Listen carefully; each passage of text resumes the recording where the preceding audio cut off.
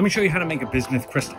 This is the chemical element bismuth. Now to do this experiment, you're gonna need someone else's saucepan and someone else's fork. Because of its low melting point of 520 degrees Fahrenheit, it's easy to melt in a stainless steel saucepan using a hot plate or kitchen stove. And if it doesn't work, try a blowtorch. Now once it's molten, turn off the heat, skim off the top layer with a fork. Wait for the surface to solidify and the crystals will start to form on their own. Pretty cool, right?